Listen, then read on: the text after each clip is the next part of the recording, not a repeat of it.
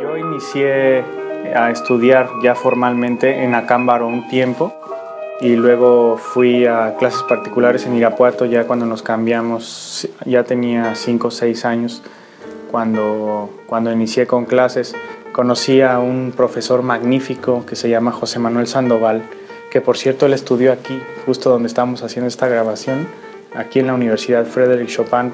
Entonces él, con todo ese nivel que adquirió aquí, pudo sembrar en mí esta, esta semilla de, de música, de talento, de explotar al máximo los, las posibilidades que tengo, porque así como disfruto, quiero que los demás disfruten mi música y lo que me apasiona.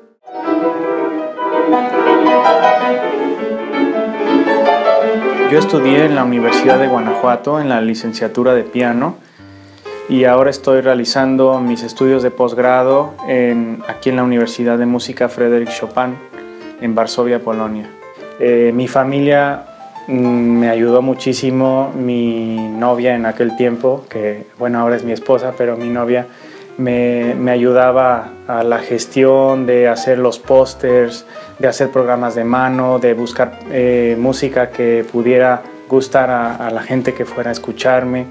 En uno de mis conciertos que di en Irapuato, me escuchó una, una chica que trabajaba en Educafin me recomendó acercarme a ellos porque les dije que quería seguir persiguiendo mis sueños como pianista. Entonces me recomendó que me acercara a Educafin, que buscara los programas de apoyo para jóvenes talentos.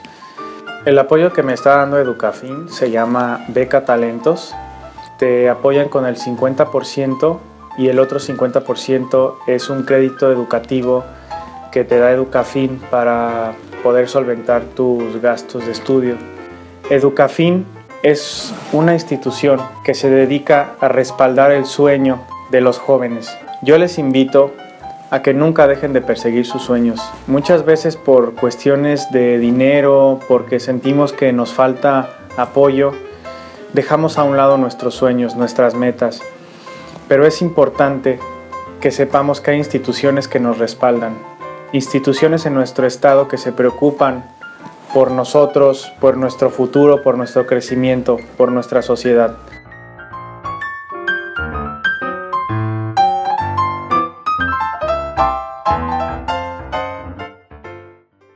Guanajuato, orgullo y compromiso de todos. Gobierno del Estado.